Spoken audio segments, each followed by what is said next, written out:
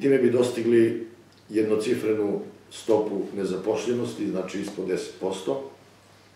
što je na neki način i cilj ministarstva resornog našeg i generalno nacionalna služba za zapošljavanje da, ovog, da ovu godinu